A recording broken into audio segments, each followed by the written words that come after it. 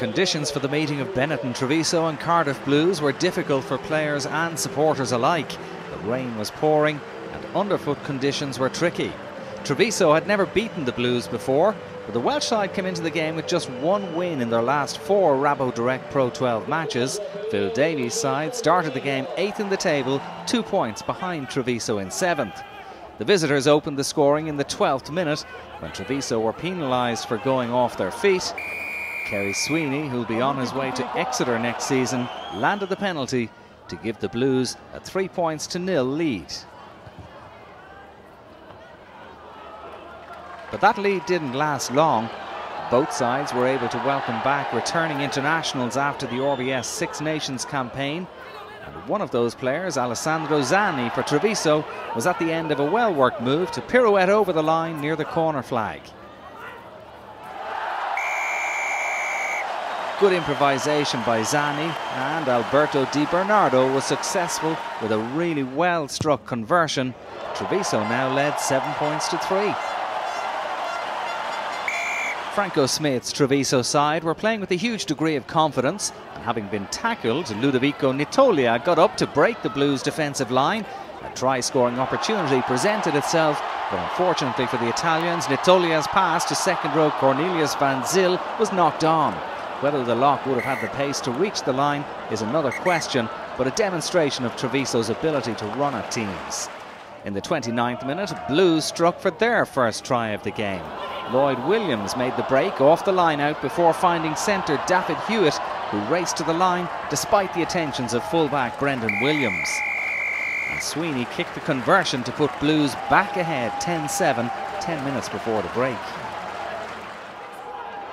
Cardiff have won all 15 previous encounters with Italian opposition, but Treviso were giving them a battle and they levelled the scores five minutes before half time when Di Bernardo slotted a penalty over to make it 10 points all. And just before the break, Di Bernardo kicked another fine effort over to give the home side a three point lead going in at half time.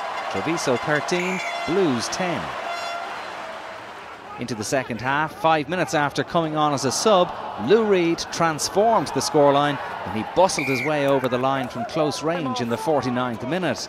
The weather may have been bad, but it was turning out to be a perfect day for Reed. The referee, Giuseppe Vivarini, sought confirmation from the TMO, but it was never in doubt. The try was good, and when Sweeney knocked over the conversion, Blues were 17-13 ahead. Thank you. There was little to choose between the two sides, and the visitors suffered a blow when flanker Mike Paterson was yellow carded for persistent offending. And Treviso took advantage just short of the hour mark. The referee awarded a penalty try as the blue scrum buckled in front of the posts.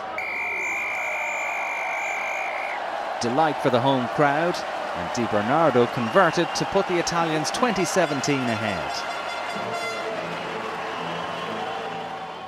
In the 68th minute, Treviso stretched further ahead when Di Bernardo was on the mark with another well-struck penalty after interference in the line-out. Considering the conditions, the out-half was kicking really well. And shortly before the end of the game, Di Bernardo landed another insurance penalty to make it 26-17. There'd be no comeback from there for the Blues.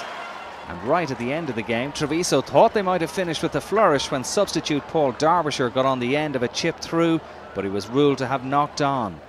No try, no try but it didn't matter as the full-time whistle blew. Treviso had recorded another win in what's turning out to be a good season. Blues, without so many top players out through injury, defeated by Italian opposition for the first time ever. Final score at the Stadio di Monigo, Treviso 26, Blues 17.